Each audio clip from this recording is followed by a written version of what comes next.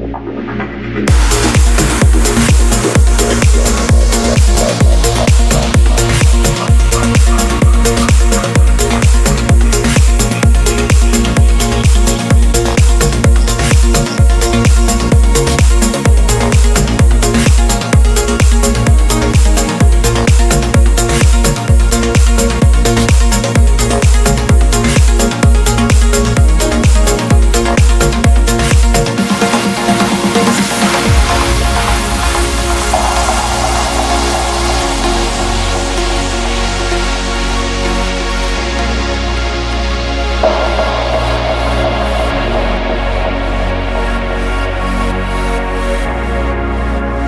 His world is suddenly filled with action and simplicity.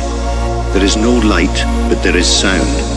It fills him in great sluggish waves, not heard, but felt through his hundred cells. The cells pulse, separate, contract according to the rush of fluid. This is now the basis of his being, the flow. He is in his own blood.